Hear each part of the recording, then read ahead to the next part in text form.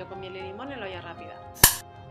Ponemos el aceite en la olla a fuego fuerte y doramos el pollo al que yo le he quitado la piel. Añadimos el agua, el sobre de sopa de cebolla, el zumo de limón, cerramos la olla rápida y cocinamos desde que salgan las dos anillas naranjas durante 6 minutos, siguiendo siempre las instrucciones de nuestra olla. Pasado el tiempo de reposo, abrimos, añadimos la miel y removemos hasta que se disuelva. Y ya tenemos lista nuestra receta. Si te ha gustado, suscríbete a nuestro canal.